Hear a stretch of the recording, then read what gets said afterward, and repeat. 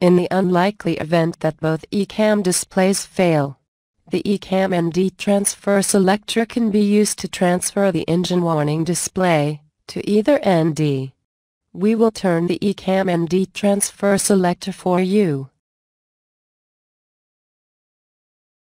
As you can see, the first officer now has the engine warning display on his ND screen. If you need to look at a system page, this can be done by pressing and holding the related system page key on the ECP for a limited time.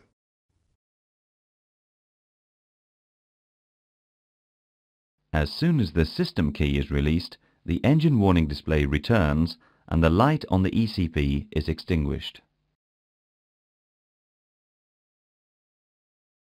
When you are limited to a single ECAM screen, the handling of system malfunctions and how you are advised of failures is slightly different.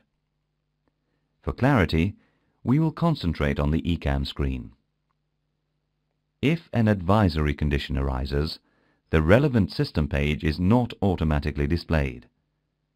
Instead, the light on the key for the system and a boxed advisory message on the engine warning display will flash. If an ECAM warning or caution is triggered, then there will be no automatic display of the relevant system page. System pages should be called by manual selection on the ECP. To see this more clearly, let's look at a failure we will only discuss the one ECAM screen and the selections on the ECP.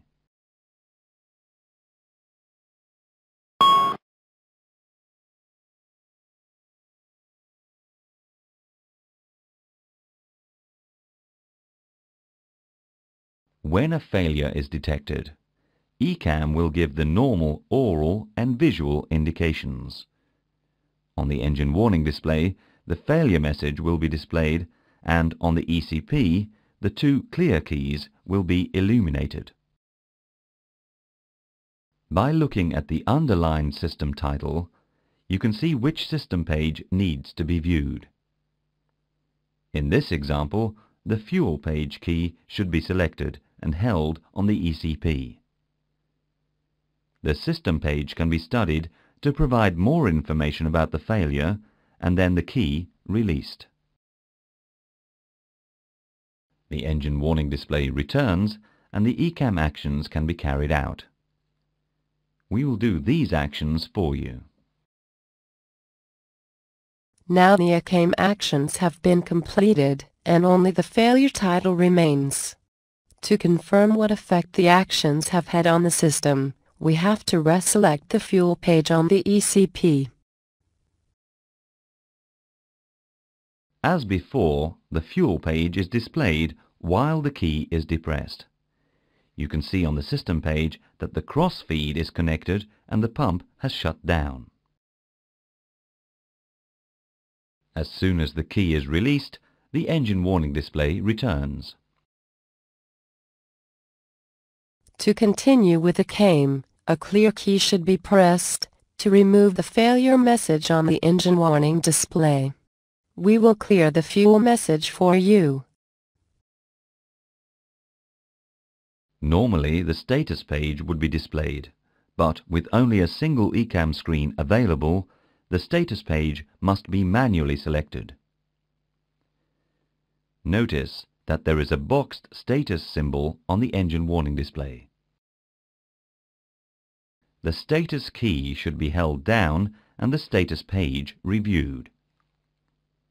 The status page can be displayed for up to three minutes before an automatic return to the engine warning display occurs. Once the review is complete, the key is released and the engine warning display returns. The ECAM procedure is now complete. There are no lights on the ECP.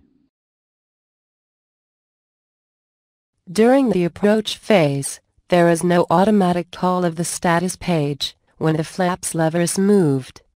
To remind the pilots to review status, the box status symbol on the engine warning display pulses. The status page should be selected as before. We will now briefly look at the use of the emergency cancel push button. It is normally used to cancel an intermittent nuisance message. It may be used, if necessary, to cancel most aural warnings. Let's look at an example of an intermittent nuisance message. When an intermittent caution occurs, the normal aural and visual alerts will be triggered.